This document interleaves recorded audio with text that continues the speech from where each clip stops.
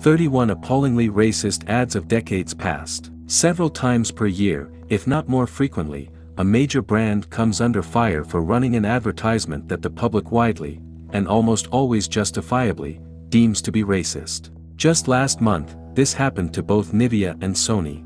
And in the latter case, the ad in question was more than a decade old and only ran in the Netherlands. But the internet never forgets, and a Twitter storm quickly brought the controversy surrounding this old ad back to life.